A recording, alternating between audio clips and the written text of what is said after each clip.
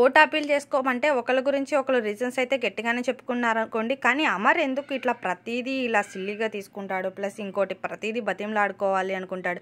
తనే ఫస్ట్లో ఉండాలనుకుంటాడు. అది కరెక్ట్ కాదు కదా. బిగ్ బాస్ హౌస్లో అందరూ పార్టిసిపేట్ చేస్తారు. అలాగే రేపు పొద్దున్న విన్నర్ కూడా పల్లవి ప్రశాంత్కి ఇస్తే అట్లానే చేస్తాడా? నాకే కప్పు ఇవ్వండి అని. అది రాంగ్ వే అవుతుంది కదా.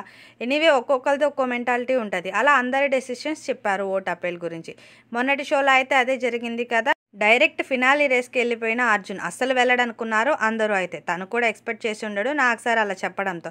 ఎనీవే తను టాప్ ఫైవ్లో అయితే ఉన్నాడు కానీ బట్ టాప్ ఫైవ్ కంటెస్టెంట్ కాదు అనేది అందరి అభిప్రాయం అనుకుంటా మేబీ. ఎవరు ఉండాల్సిన ప్లేస్లో తను ఉన్నాడేమో అనిపిస్తుంది చూసే వాళ్ళకి ఈవీ ఈ వీక్ ఎలిమినేషన్ గురించి మాట్లాడుకుంటే శోభా ప్రియాంక లీస్ట్ ఓటింగ్లో ఉన్నారు. లేదంటే అర్జున్ వెళ్ళిపోయి ఉంటే ప్రియాంక టాప్ ఫైవ్లో ఉండేది. బట్ కానీ టాప్ సిక్స్లో ఉంది ప్రియాంక అయితే. టాప్ ఫైవ్లో అయితే అమర్ ఉన్నాడు. బట్ ఎలా చేస్తారో వీళ్ళు బిగ్ బాస్ సెవెన్లో.